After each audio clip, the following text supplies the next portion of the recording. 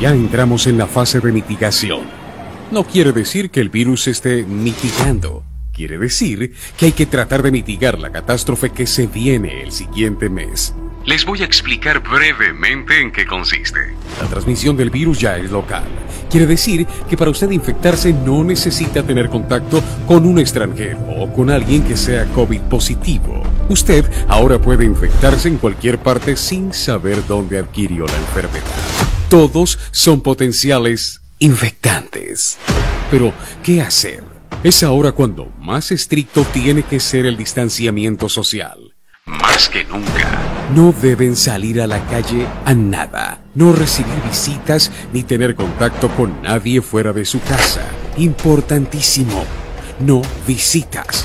No amigos. No visitarse entre familiares. Todo aquello que reciba, etc., debe ser primero desinfectado. Siempre piense que todas las otras personas están infectadas. Acá es donde el panorama puede cambiar a una situación como la de España o Italia.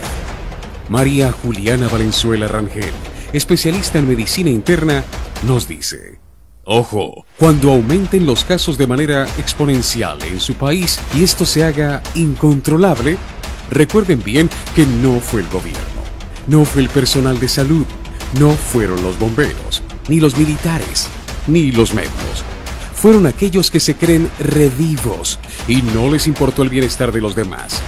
No nos va a matar el coronavirus, pero sí la ignorancia y la falta de empatía. Y si te contagias y llamas al servicio de ambulancia y no llegan rápido, no comiences a publicar en redes lo mal que te atendieron. Recuerda que el único responsable eres tú. También recuerda que si no logramos controlar la expansión del virus, la economía se frenará aún más. Y eso, queridos amigos, es responsabilidad tuya por no seguir las indicaciones que te venimos repitiendo todo el personal de salud. Recuérdalo y nada de hacerse la víctima. No sabemos cuándo va a comenzar a disminuir la curva de crecimiento exponencial del virus en nuestro país. Se nos viene el descenso de las temperaturas y con ello más afecciones respiratorias en nuestros abuelitos y niños. O lo paramos ahora o después. No pensemos en qué se hizo mal antes. Pensemos en lo que podemos hacer ahora. Quédate en casa.